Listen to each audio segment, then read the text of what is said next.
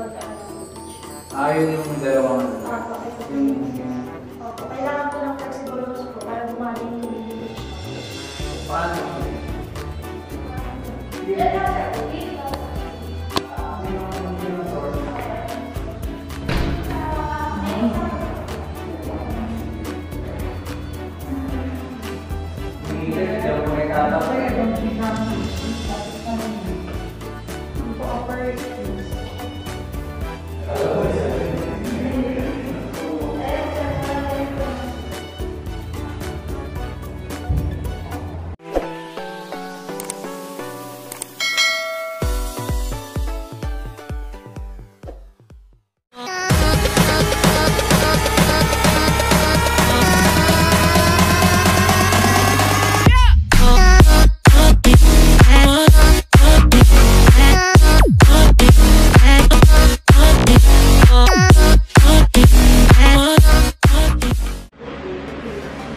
Hi guys! Thank you for watching.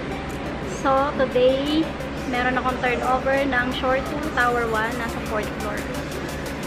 So, ngayon daw, ang tina-turnover na sa Shore 2 is hanggang 11th floor. Meron na daw units sa 10 and 11 na tina-turnover. Oo, malapit lang. Buksan, papabuksan ko lang ma'am yung mailbox ninyo para hindi na kayo magbibigay ng susi doon sa tenant kasi mawawala nila yan. So, okay lang naman yan kahit bukas.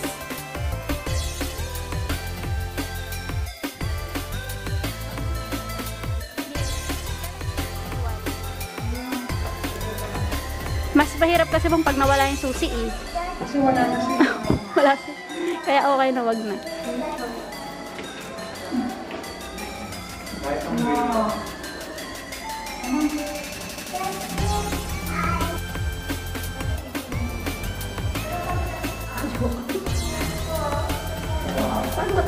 pinatanggal? Wala daw itong sakit. Lalagay ng sakit.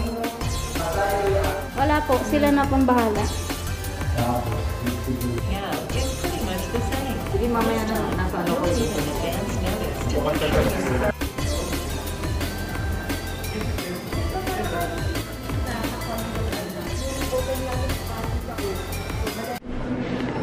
O guys, nandito tayo sa Alpha Mart.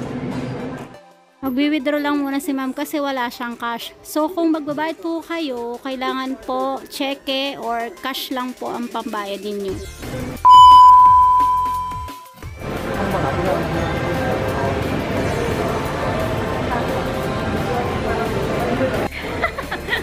Hi daw.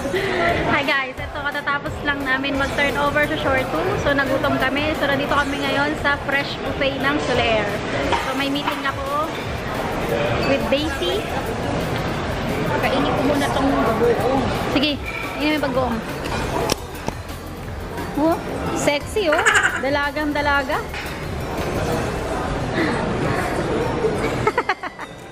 Dalaga, dalagang dalaga oh. So habang namimili po ako ng pagkain, pag-uusapan po muna natin kung ano yung nangyari po kanina sa turnover sa Shore 2 Residences. So ang association dues po doon ay parehas lang po sa Shore Residences. 92 pesos per square din po ang association dues doon. So ang association dues po, binabayaran siya every end of the month. Ang bill po dumarating sa mailbox every 15th of the month.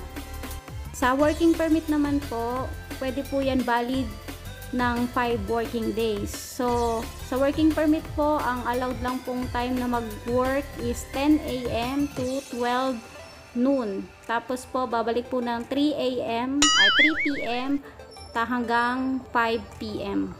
Sa gate pass naman po, ayan, walang problema. Monday to Friday po ang delivery or pull out ng mga gamit kahit anong oras po yan.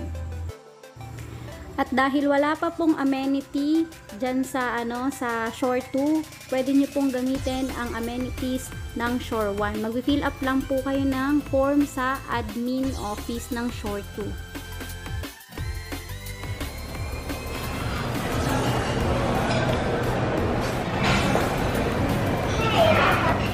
Ay, ang working permit pala, Monday to Friday lang din po ang pwedeng magtrabaho doon sa unit. One year warranty pa rin po ang unit ninyo. So, pag na-turn over po sa inyo, i-double check nyo po lahat ng mga gamit at mga outlets sa unit ninyo. Makinig po kayong mabuti sa orientation. Mababait naman po yung mga staff doon sa Shore 2 Residences. At huwag po kayong mahihiyang magtanong.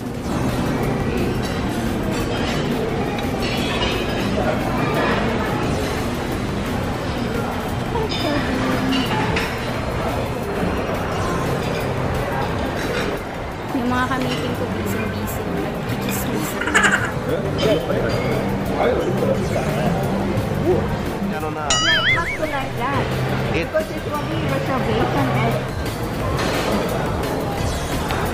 Diba, malamang ako sa ko nakakilala yung owner doon sa ano, saan? sa YouTube.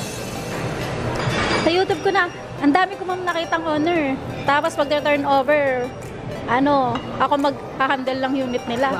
Oo, ang dami, madami-rami na sila. Kaso wala pang turnover. Mag-report ako sa kanila sa ano, YouTube. Dilis oh. Ha? Mga steam vegetables. Ha? Steam. Ayan, kalabasa, di ba? Ano yung naka, daw na kalabasa? Ito kalabasa yung ano mo ba yung labanus? Hmm, talbos ng kalabasa. Ito, ano siya? Mustasa. Ayoko yung mustasa. Kung may lump, kung may lumpiang Shanghai, masarap to. Oh. Sauce. Magumis to! Oh my God! Vinegar. Diba? Ito naman talaga yung partner ng mga ganyan. Ito, part yan yan. Filipino, dilis. Grabe. Grabe kumain tong mga to. oh. Matapos ko lang kami yung Ocean Tower, magpahinga na muna ako. Thank you for watching. Please don't forget to subscribe to my channel. Congratulations, sir, ma'am, sa bago ninyong unit. Thank you. Bye!